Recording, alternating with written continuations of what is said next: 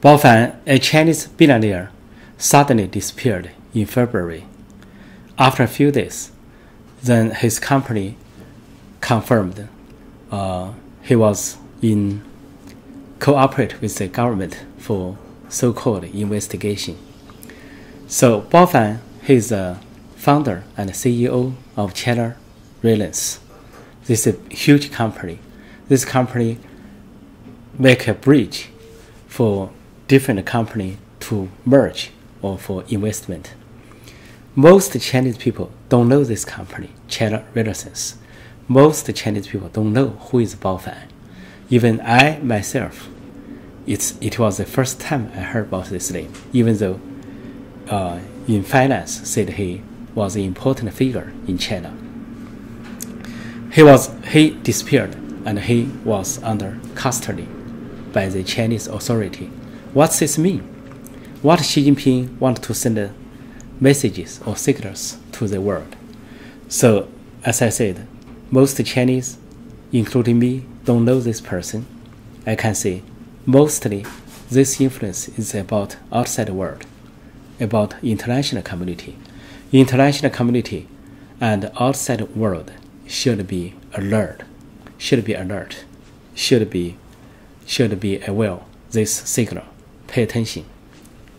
What Xi Jinping said here, or Xi's uh, uh, regime.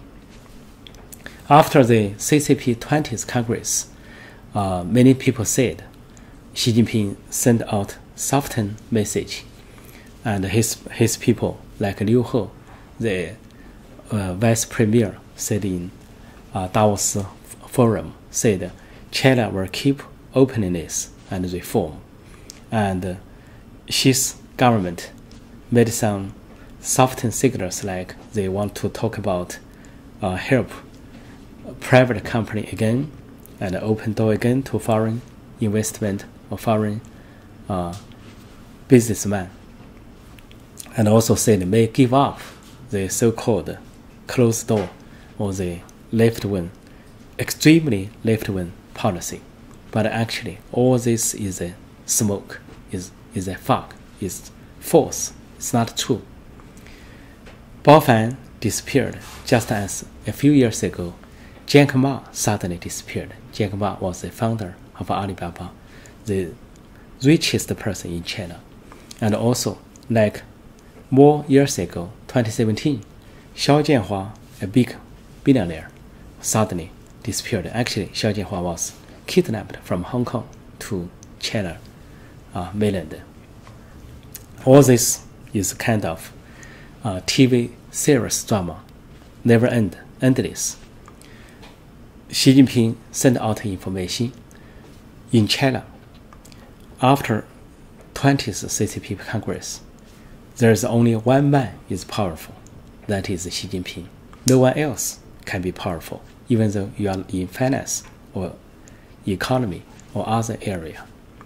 So Baofan may be powerful in money or marketing or finance.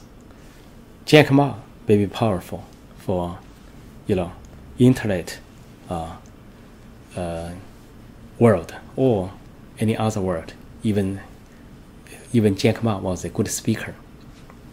All these people should disappear, either go to jail or either go to exile. Like Xiao Jianhua is in jail, and uh, Jack Ma was actually exiled to Japan or other countries.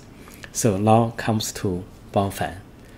So it looks like Beijing or Zhongnanhai told the outside world, don't trust me, don't come to invest, don't come to China. All businessmen don't come to China. All foreign monies don't come to China.